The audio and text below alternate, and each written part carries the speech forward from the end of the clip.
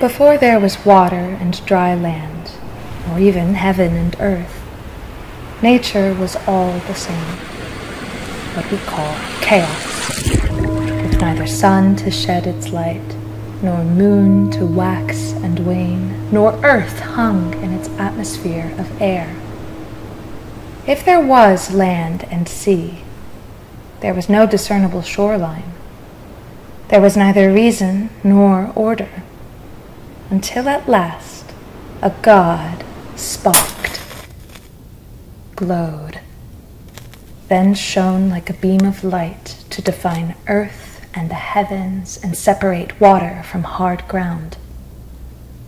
Once these distinctions were made and matter began to behave, the sky displayed its array of stars in their constellations.